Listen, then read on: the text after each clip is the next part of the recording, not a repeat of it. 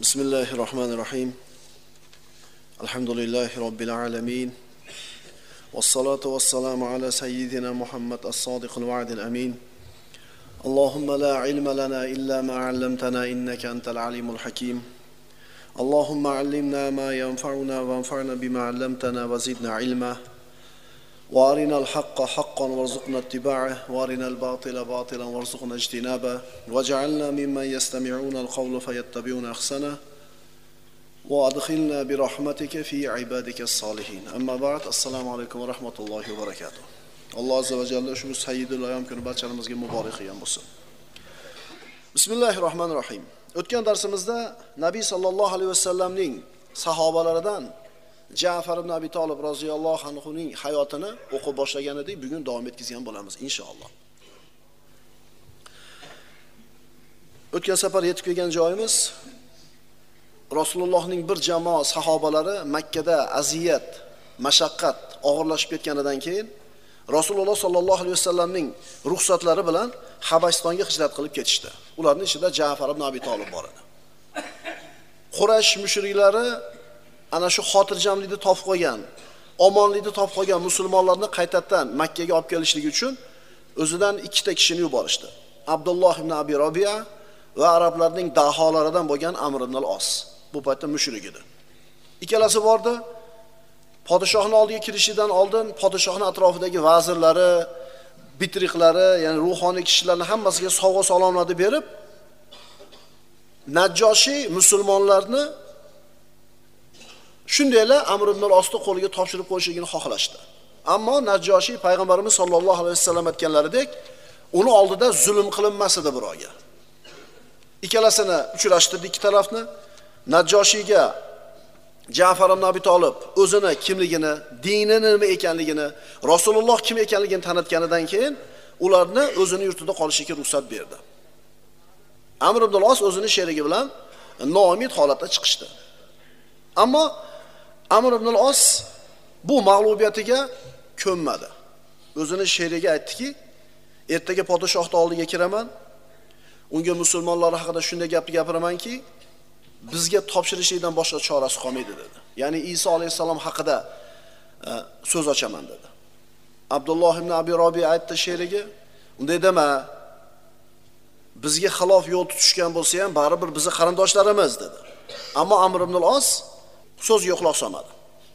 Bu qissani mana Ummu Salama roziyallohu anha hikoya qilib beradilar. Ummu Salama aytadi. Ertasi bo'lgach, Amr ibn os najjoshini oldiga kirishga izn so'radi, izn berildi. Oldiga kirib aytdiki: "Ey podshoh, siz omonlik bergan ana musulmonlar Iso haqida noma'qul so'zni aytadilar. Nima deyishadi? O'zlarini chaqirtirib o'zlaridan so'rang." Najjoshi musulmonlarni chaqirtirdi. Musulmonlar ulardan Najjoshi Iso haqida so'ramoqchi ekanligini bilishib, dinimizda nima deyilgan bo'lsa shuni aytamiz deb qaror qilishdi. Payg'ambarimiz sollallohu alayhi vasallam bu haqida bizga nima deganlar? Shuni aytamiz. Keyin nima bo'lsa bo'laversin. Yana o'tgan safargidaqa Najjoshiyni oldida musulmonlarning nomidan Ja'far ibn Abi Talib roziyallohu anhu gapiradigan bo'ldi. Ummu Salama roziyallohu anha davom etadi. Najjoshiyni huzuriga kirib, kechagi holatni ko'rdik. Bitriqlar hammasi shu yerda, Qurashning ikki kishisi ham shu yerda. Kirishligimiz bilan Najjoshiy so'radi.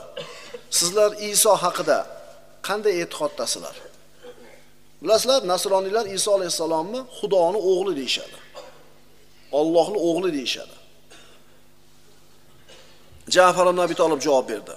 Biz Iso alayhisalom haqida Rasululloh sollallohu alayhi vasallamning aytgan so'zini aytamiz.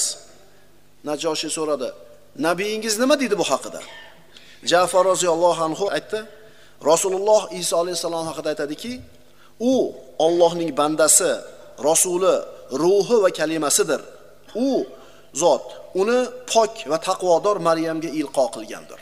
Va Iso alayhisalom haqida nozil bo'lgan oyatlarni o'qib berdi. Astagfirullah.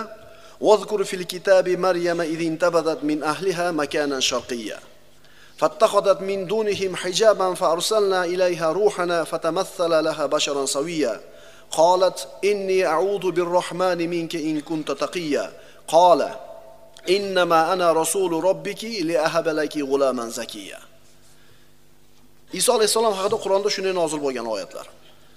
Ey Muhammad, ushbu kitobda Maryamni zikr qiling. U o'z ahli oilasidan chetga, kun chiqar tomonga borib, ulardan berkinib olgan paytida biz unga o'z ruhimiz, ya'ni Jabroilni yubordik. Bas u Jabroil alayhissalom Maryamga bus butun ro'y rost odam bo'lib ko'rindi. Maryam unga men Rahmonga sig'inib, sendan panoh berishini iltijo qilurman. Agar Allohdan qo'rquvchi bo'lsang, menga ziyon yetkazmagin dedi. Jabroil aytdi: "Qo'rqmagin. Men faqat senga bir pokiza o'g'il hadya qilish uchun kelgan Parvardigoringning elchisidirman xolos." Maryam dedi: "Menga odamzod tegmagan bo'lsa, buzuq ayol bo'lmasam, menda qayoqdan farzand bo'lsin?" Jabroil aytdi: "Shunday, Parvardigoring ayturki, bu ish menga osondir. Biz u bolani odamlar uchun oyat mo'jiza va o'z tomonimizdan bo'lgan rahmat, marhamat qilurmiz, bu bitgan ishdir." Nasorolar Iso alayhissalomni otasiz dunyoga kelganligi uchun Allohning o'g'li deyishdi. Otasi yo'q bo'lsanglar, Allohning o'g'li desa, unda Odam alayhissalom ishi nima bo'ldi? Otasi ham, onasi ham yo'q edi Odam alayhissalomni. Faqat otasi dunyoga kelsa Xudoni olish deyishi mumkin bo'lsa, Odam alayhissalomda nima deymiz? Alloh taolay aytadi: So'ng Maryam bolasini ko'targan holda qavmiga kelganida ular: "Ey Maryam, sen hech kim qilmagan ishni qilding-ku. Ey Xorunning singlisi, sening otang yomon odam emas, onang ham fohisha emas edi-ku" dedilar. Shunda Maryam og'iz ochmasdan bolasiga ishora qildi. Ya'ni shuni o'zidan so'ranglar dedi. Ular aytdilar: "Beshikdagi go'dak bilan qanday so'zlashurmiz?" Shu payt chaqaloq, ya'ni Iso tilga kirib dedi: Men Allohning bandasidirman. U zot menga kitob, Injil ato etdi va meni payg'ambar qildi. yana meni qayerda bo'lsam, xayru barakotli qildi va modomiki hayot ekanman, namozni ado etishni, zakotni ato etishni amr qildi. Shuningdek, Alloh meni onamga mehribon qildi va meni istamkor badbaxt qilmadi. Iso alayhissalom haqidagi Alloh taoloni nozil qilgan oyatlarini Najjoshi eshitdi. Najjoshi faqatgina podsho emas edi. U Injildan xabari bor nasroniylarning olimi edi. Ja'far ibn Abi Talib bu oyatlarni o'qib bo'lganidan keyin Najjoshi ollohu akbar dedi. Va yerdan kichkinagina bir cho'pni olib turib aytdiki, Iso sen aytgan narsadan mana shu cho'pchalik ham chetga chiqqani yo'q dedi. Isoni Allohning o'g'li deb e'tiqod qiladigan atrofidagi bitriqlari, poplari g'udrashni boshlashdi, ovozini ko'tarishdi. Najjoshi ularga qarab turib, sizlar norozi bo'lsangizlar ham haq so'z shu. Iso bu kishi aytgan narsadan mana shu cho'pchalik ham tashqariga chiqmadi dedi. Mana Amr ibn osni qilgan hiylasi endi foyda bermay qoldi. Qarang. Musulmonlar Najjoshiyni oldiga kelib turib, o'zlarini nazarida ularga foydasi bo'ladigan boshqa gapni gapirib qo'yishi mumkin edi. Lekin ular haqni gapirishni tanlashdi. Haq Alloh taolo najot berdi musulmonlarga mana shu haq tufayli. So'ngra Najjoshi musulmonlarga qarab turib, sizlar meni yerimda omondasizlar. Kim sizlarga ozor yetkazsa, ziyonda, ziyonda, ziyonda dedi. Mana shu holatdan ham Ja'far ibn Abi Talibni qanchalar aqlli, xushli, zakovatli, ma'rifatli inson ekanligini bilib olsak bo'ladi. Boshqa dindagi kishi, boshqa dindagi podshohni o'zini g'oyasiga ergashtirib olishligi oson emas edi. Aytdiku bu necha kirganda shu paytda? So'ngra najjoshiy Amr ibn os va hamrohiga qarab, mana ikkoviga hadiyalarni qaytarib beringlar. Alloh menga mulkimni qaytarib berayotganda pora olmagan edi. Men bulardan pora olmayman. Amr ibn os sherigi bilan Makka ga noumid holda qaytib ketishdi. To Haybar fathi bo'lgunicha musulmonlar Habastonda tinch, omonlikda ibodatini qilib kunlarni kechirishdi. Qurash mushriklari bir fitna qilishdi, bir narsani xohlashdi, ammo Alloh taolo shu narsani bo'lishini xohlamadi. Shuning uchun birodarlar, Alloh bilan birga bo'laylik. Alloh biz bilan birga bo'ladi. Qalbimizda faqat ollohni rozi qilishlik g'ami bo'lsin, mushkulalarimizni Alloh taolo o'zi hal qilib berayotganligini ko'ramiz. Shoshilib ketamizda bizchi? Agar Alloh bir narsani bersa sizga, kim uni to'sib qola oladi? Agar Alloh bir narsani sizdan olib qo'ymoqchi bo'lsa, kim bu narsaga qarshilik qila oladi ihfazillaha yahfazka. Payg'ambarimiz sollallohu alayhi vasallam abdulloh ibn abbos roziyallohu anhuni yosh bolani ulovga uchqashtirib olib nasihat qilganda eslaylik nima degan edilar ya g'ulam inni uallimuka kalimat. Ey bola men sizga bir qancha so'zlarni o'rgataman. Ihfazillaha yahfazka. Allohni haqlarini saqlagin u zot seni saqlaydi. Allohning haqlarini saqla doim ro'baringda topasan. Agar butun bir ummat senga yaxshilik qilaman deb turgan bo'lsa Alloh yozganidan oshiqcha yaxshilik qilisha olmaydi. Agar bir ummat senga yomonlik qilamiz deb turgan bo'lsa Alloh yozganidan oshiqcha yomonlik qilisha olmaydi. Rufiyatil aqlam va jaffatis suhuf. Seni pesheningda yozilgan yaxshilik yomonlik kunlar. Bu qalam ko'tarildi sahifalar quridi. Shuning uchun Alloh bilan birga bo'lishni o'rganaylik. Jafar ibn Abi Talib roziyallohu anhu va Habastondagi qolgan muhojirlar Hijratning 7-yilida Madina Munavvaraga qaytib kelishdi. Bu vaqtda payg'ambarimiz sollallohu alayhi vasallam Haybardagi yahudlar bilan jang qilib, ularni mag'lub qilib, juda katta o'ljalar bilan qaytib kelayotgandilar. Va Haybarga borgan kishilargagina o'lja berildi, boshqa hech kimga berilmadi. Ammo Habastondan muhojirlar kelganida Rasululloh Habaston muhojirlariga ham mana shu g'animalardan ulush qilib berdilar. Va Ja'far ibn Abi Talibni ko'rib payg'ambarimiz shunday quvondilarki, va aytdilar: "Vallohi ma adri bi ayyihima ana ashaddu farahan bi fathi Haybar am bi qudumi Ja'far." Vallohi qaysinisi bilan ko'proq xursand bo'lishni bilmayapman. Haybarni fath bo'lgani bilan xursand bo'layapmi yoki Ja'farni kelganligi bilanmi? Rasululloh sollallohu alayhi vasallamning quvonchiga sabab bo'lyapti. Ja'far ibn Abi Talibni Madinaga kelishligi. Abu Muso roziyallohu anhudan rivoyat qilinadi. Haybar fathidan g'oyib bo'lgan biror kishiga ham Rasululloh taqsim qilmadilar o'ljadan. Faqat bizning Ja'far va uning ashablari bilan bo'lgan kemamiz odamlargagina o'lja taqsim qildilar. Shunda ayrim odamlar aytishdiki, Habastondan hijrat qilib kelganlarga payg'ambarimiz bilan Madinaga hijrat qilgan ayrim sahobalar aytishdi, biz sizlardan o'zib ketdik. Biz Rasululloh bilan hijrat qildik. Shuning uchun biz Rasulullohga haqliroqmiz sizlardan ko'ra. Rasulullohga yaqinroqmiz deyishdi. Shunday gap bo'ldi. Hafsa onamiz roziyallohu anhuni oldiga ana shu Habastonda muhojiri bo'lib yashagan Asmo bint Umays roziyallohu anha kirib o'tirgan edi. Rasululloh sollallohu alayhi vasallam tirik payti. Umar ibn Hattob qizi Hafsa onamiz oldiga kirdi. Bu ayolni ko'rib, "Kim bu ayol?" Hafsa onamiz javob berdilar, bu Asmo bint Umays. Umar ibn Hattob aytdi, Habastonlik ayolmi dedi. Ya'ni Habastondagi hijrat qilganlardanmi? Ha dedi. Umar ibn Hattob ham boyagi gapni aytdi. Biz sizlardan hijrat bilan o'zib ketdik.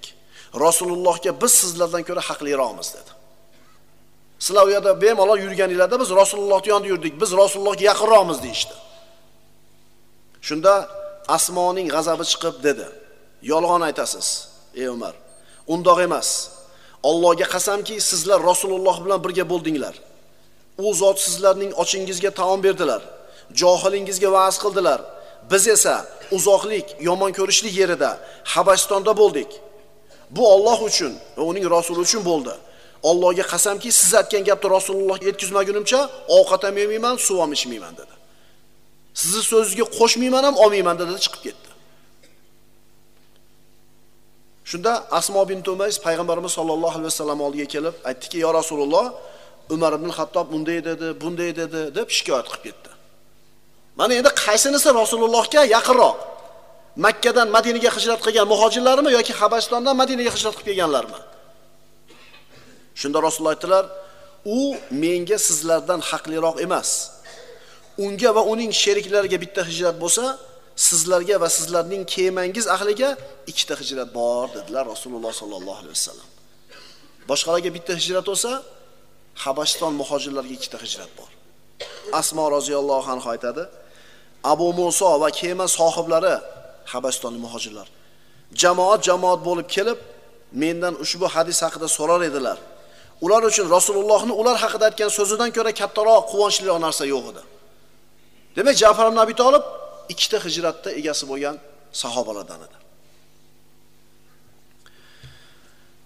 Saxovat peshaligi jafar ibn abi tolib abul masakin miskinlarning otasi. Bizda saxovat deganda xayr ehson deganda faqatgina boy odamlar ko'z oldimizga keladi. E, to'g'ri shariatimizda e, o'zingdan oshganini ehson qil deyilgan. Yasalunaka mada yunfiqun qulil af. Ey muhammad alayhissalom sizdan nimani infoq qilishlarini so'raydi sahobalar. Ayting o'zinglardan oshganini. Bu sahobalar qo'lida bormi yo'qmi imkoniyatiga qarab turib yaxshilik qilishiga haris bo'lavergan ekan. Jafar ibn abi tolib boy bo'lmagan ekan ammo miskinlarni yaxshi ko'rar ekan miskinlarga xayr ehsonni to'xtatmas ekan. Qarang jafar ibn abi tolib miskinlarni yaxshi ko'rar edi. Ularga xayr e ehson qilib turardi. Shuning uchun rasululloh sollallohu alayhi vasallam uni abul masokin miskinlarni otasi deb laqablagan ekanlar. Abu hurayra roziyallohu anhu bu kishi ahli suppalardan bo'lgan kambag'al bo'lgan eng ko'p rivoyat qilgan kishi hadisni. Hadisni eng ko'p rivoyat qilgan sahobalardan miskin bo'lgan ahli suppa bo'lgan uyi yo'q bo'lgan. Masjidni burchagiga bir supa qilib qo'yilgan shu yerda bir beshta oltita o'sha bir kambag'al sahobalar o'sha yerda kun kechirgan. Bir olib kelib ehson qilsa yeydi ichadi bo'lmasa och qolib o'tiraveradi. Kunlarni birida abu xurara roziyallohu anhu qorni och. Yegan hech narsasi yo'q. Borib turib qornim och deyolmaydi hayo bor iffat bor. Musulmonlar namoz o'qigani kirishadi o'qib chiqib ketishadi. Chiqib ketganda kelinglar qur'on o'qib beraman sizlarga deb o'tkazib olar ekan. O'tirib qur'on o'qir ekan. Bir betmi yarim betmi? Orqasidan va mimma rozaqnahum yunfiqun degan oyat bilan tugatar ekan. Ya'ni ularga infoq qilib bergan narsalarimizdan mo'minlar infoq qiladi. Biz ularga rizq qilib bergan narsadan infoq qiladi degan oyat bilan tugatar ekan. Tushunishamikin deb. Jamil zo'r deb chiqib ketishaverar ekan o'tiraverar ekan qorni och. Ana shu qorni och bo'lib turgan paytda bir piyola sut ehson bo'lar ekan masjidga ahli suppaga. Abu hurayra olib roziyallohu anhu xursand hozir ichaman deb tursalar nabiy sollallohu alayhi vasallam to'xtang ahli suppani qolganini ham chaqiring derkanlar yo rasululloh bir piyola o'zi chaqiring der ekan. Sutni qo'yib qo'yib ahli suppani chaqirib olib kelib hammasi o'tirishdi. Rasululloh sollallohu alayhi vasallam abu hurayra oxirida ichadi derkanlar bir ko'zinglarni oldiga keltiringlarda mana shu epizod. Biz abid qilgani boramiz nima yeysizlar deydi. Biz nima bor deymiz. Mana mana mana mana bor deydi. Deydi tolib men yemayman hamma yeyman ha manaqa bo'ladi ha issiq bo'lib qolibdi sovuq bo'lib qolibdi sho'rvasi sovuq bo'lib qolibdi biz hech qachon ularni qilgan amalini qila olmaymiz. Ularni martabasiga maqomiga yeta olmaymiz ammo ularga bo'lgan muhabbatimiz hurmatidan Allohdan umid qilamiz. Qiyomatda ular bilan birga tiriltirgin bizni deb ularga bo'lgan nimamiz tufaylik? Muhabbatimiz tufaylik.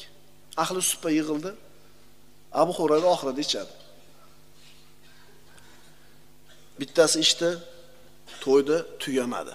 Rasululloh sollallohu alayhi vasallamga qo'li tekkan barakot. Ikkinchisi ichdi uchun abu hurayraga ham yetib keldi. Iching. Ichdi iching ichdi iching ya rasululloh to'ydim iching e, tirnoqlarimdan chiqib ketguncha to'lib ketdi ichim dedi. Mana shunday kishilar rasululloh sollallohu alayhi vasallam oldida o'tirishgan. Ini ular shikoyat qilmagan bizga o'xshab hayotidan. Abu hurayra roziyallohu anhu mana shunday sahoba bo'lgan. Shu kishi aytadi. Abu hurayra roziyallohu anhudan rivoyat qilinadi. Odamlar abu hurayra hadisni ko'paytirib yubordi deyishdi. Bilasizlar abu hurayra roziyallohu anhu eng ko'p rivoyat qilgan kishi hadisni. Shunda abu hurayra aytgan ekan nima qilay?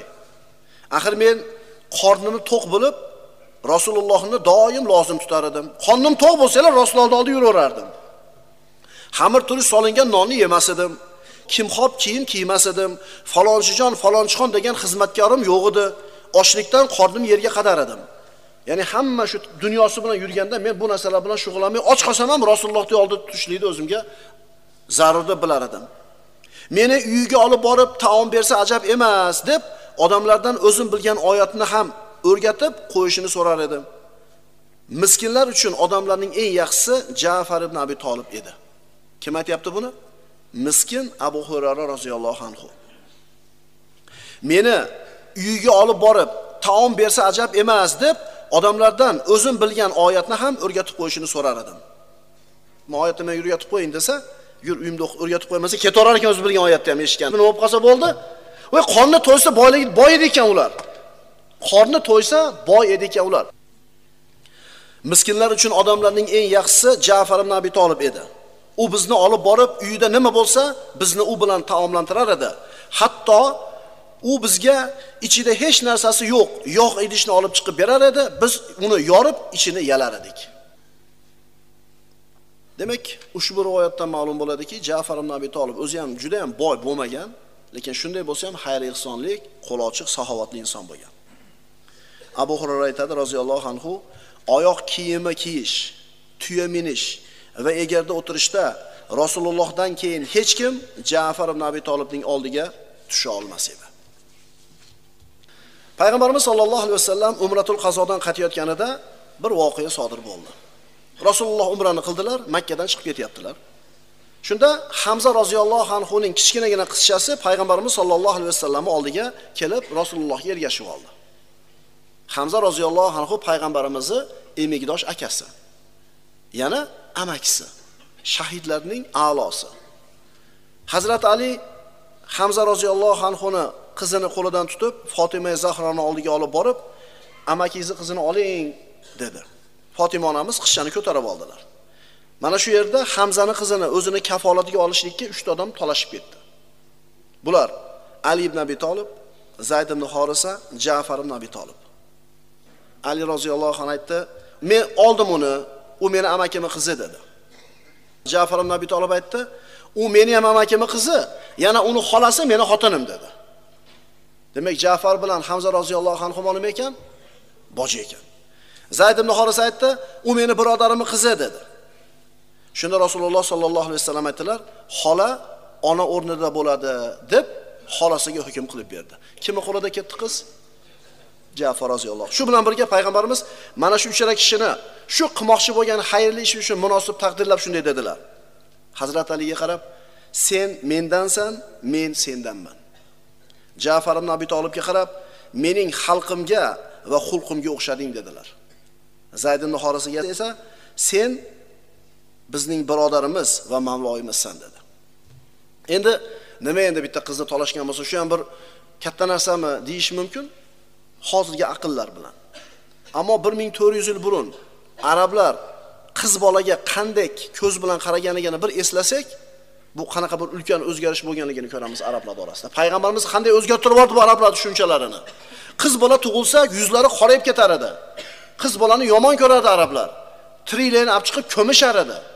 Endi mana shu xalqni rasululloh sollallohu alayhi vasallam yigirma uch yil bor yo'g'i.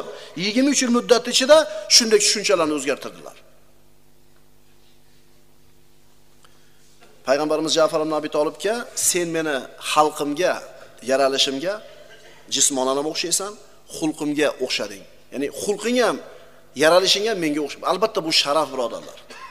Payg'ambarimiz sollallohu alayhi vasallamga abdumannof urug'idan beshta kishi o'xshar deb aytdik darsimiz avvalida. Shulardan bittasi jafar ibn abi tolib ammo faqatgina yaralish jihatdan o'xshamas edi balki axloqi xulqi ham payg'ambarimiz sollallohu alayhi vasallamga o'xshar edi jafar ibn abi tolibning shahid bo'lishi.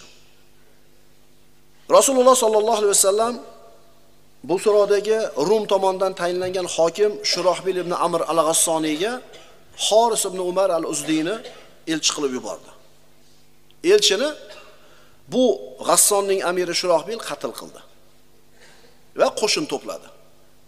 Payg'ambarimiz g'asson arablarini ta'zirini berishlik uchun rumga qo'shin tayyorladilar uch ming kishidan iborat. Siyrat darslarida buni aytib o'tganmiz.